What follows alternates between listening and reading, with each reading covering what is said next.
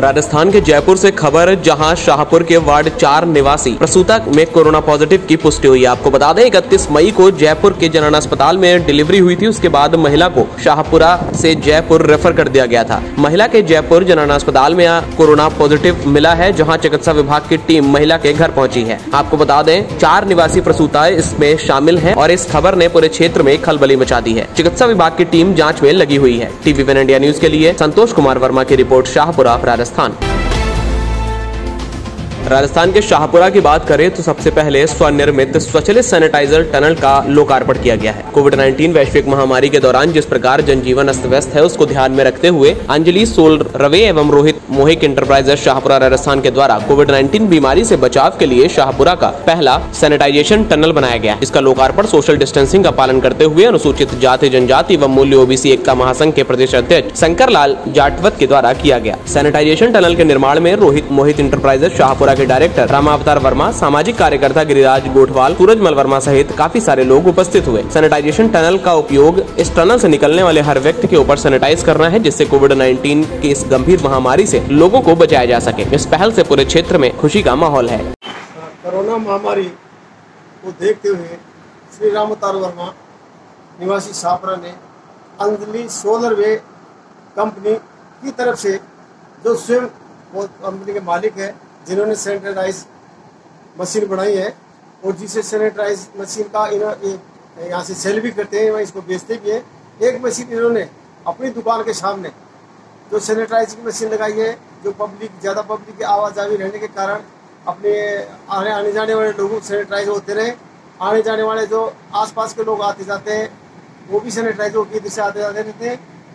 और ये भामाशा के रूप में इन्होंने काम किया है। और समाज में बढ़ चढ़ के आगे भी बाबा साहब के रूप में काम करते रहते हैं। और इस कंपनी की तरफ़ से ये जो बढ़ाई हुई मशीन है, ये यहाँ से कंपनी की तरफ़ से बेच भी रहे टीवी वन इंडिया न्यूज़ के लिए संतोष कुमार वर्मा की रिपोर्ट शाहपुरा, राजस्थान। राजस्थान के विराटनगर से खबर है, जहाँ विराटनगर में लॉकडाउन का अनलॉक का दूसरा दिन रहा। एक तरफ़ विराटनगर में अनलॉक के दूसरे दिन लोगों की जोरदार भीड़ देखने को मिली। वहीं बिना मास्क के घूम रहे लोग, किसी भी व्यक्ति को इस कोरोना दौर के चलते इस विषय पर कोई भी डर नहीं था, यह भी देखा गया। विराटनगर एस बैंक के सामने बैंक ग्राहकों की इतनी लंबी भीड़ देख लोग सन्नाटे में थे। कोरोना संकट को देखते हुए वृद्ध लोग अपनी पेंशन के लिए काफ़ी कड़ी धूप में खड़े रहे और लाइन लगाकर सभी अपनी बारी का इंतज़ार करते हुए नज़र आए। ग्राहकों का कहना है की तीन चार घंटों तक लाइन में लगना पड़ा, उसके बाद उनका काम हुआ प्राप्त सूचना के अनुसार बताया जा रहा है कि बैंक में स्टाफ की कमी होने के कारण ऐसी लोगों में दिक्कतों का सामना करना पड़ रहा है। इस कारण से ग्राहकों को लंबी देर तक अपनी बारी का इंतज़ार करना पड़ता है, जिसमें ग्राहकों की मांग है की बैंक में और स्टाफ बढ़ाया जाए, जिससे आने वाले लोगों को तकल्लुफ न हो। उपखंड क्षेत्र विराटनगर में एसबीआई बैंक के सामने लगी कस्टमरों की भीड़।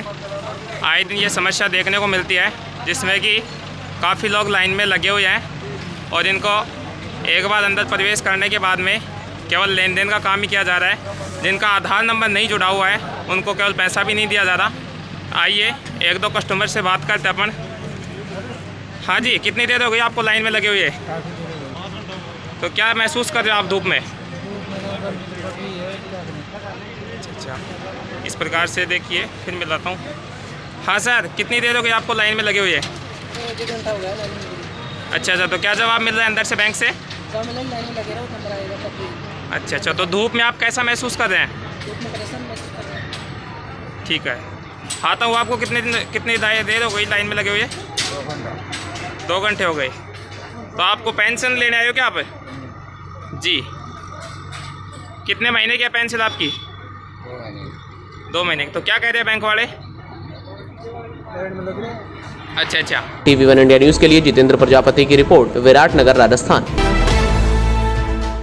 राजस्थान के पाली विधानसभा क्षेत्र में रोहट पंचायत समिति में कांग्रेस के युवा नेता महावीर सिंह सुकरलाई ने इंद्रोका केदाड़ी माड़पुरिया के नरेगा साइट पर श्रमिकों को मास्क और जूस की बोतलें वितरित की हैं। आपको बता दें, विभिन्न जगहों से आए हुए प्रवासी मजदूर अपने क्षेत्रों में नरेगा में रोज़गार पा रहे हैं। इस नरेगा में काम करते हुए लोगों को कांग्रेस युवा नेता महावीर सिंह ने अपनी तरफ़ से मास्क और जूस की बोतलें भी वितरित की हैं। सुकरलाई ने कोरोना से बचने के लिए सोशल डिस्टेंसिंग के पालन करते हुए सभी को कार्य करने की हिदायत दी और साथ ही मास्क सैनिटाइजर का उपयोग उपयोग साथ में करें। न हो तो साबुन से अपने हाथों को बार बार साफ़ करें। ऐसा भी सभी से आग्रह किया है। इस दौरान सरपंच दिलदार खान, कांग्रेस सेवाला जिलाध्यक्ष मोहन हटेला, पूर्व शहर अध्यक्ष प्रकाश सांखला सहित काफ़ी सारे लोग मौजूद थे। टीवी वन इंडिया न्यूज़ के लिए सोहन गुनपाल की रिपोर्ट, पाली, राजस्थान।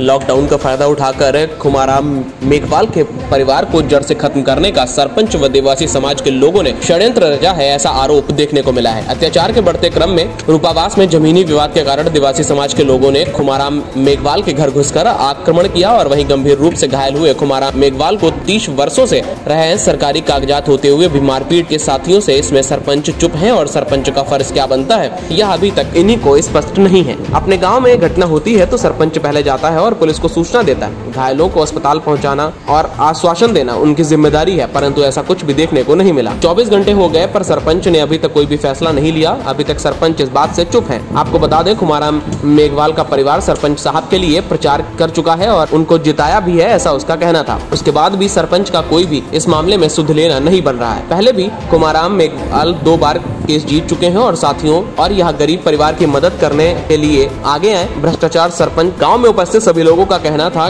कि इस तरीके की गतिविधियाँ गलत हैं और सभी जरूरतमंदों की मदद करने के लिए आगे आए और सभी को न्याय मिलना और न्याय दिलाना उनका हक है। नौ देवी है देवासो की ढोनी रूपावास।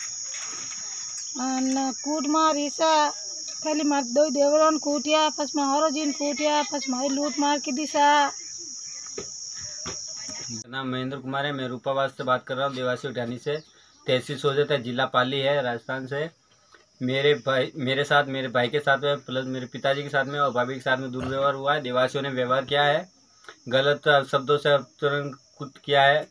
प्लस मेरी भाभी के साथ में छेड़खानी की है, कपड़े वपड़े फाड़े हैं और ये दस दस साल से केस चल रहा है। इसमें अभी तक तो कोई सुनवाई नहीं हो रही है और डगलाराम है, मैन उसके दो पुत्र है। फिर सोनाराम है, रूगाराम है, रत्नाराम है, मेघाराम है। रत्नाराम दूसरा वो होता है आगे रहता है, वो भी है।